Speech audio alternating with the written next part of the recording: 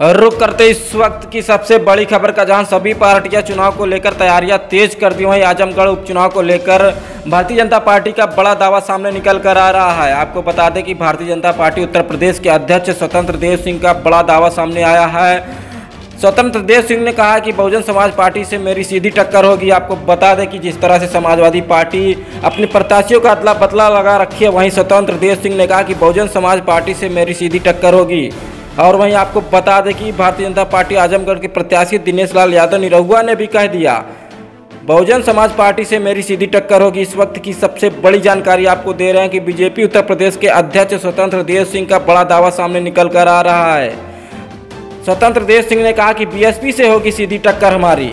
इस वक्त की सबसे बड़ी खबर है, बहुजन समाज पार्टी के प्रत्याशी गुड्डू जमाली हैं। आपको बता दें कि दिनेश लाल यादव का टक्कर सीधा गुड्डू जमाली से होगा। समाजवादी पार्टी टक्कर से बाहर है। इस वक्त की सबसे बड़ी खबर निकल कर आ रही है।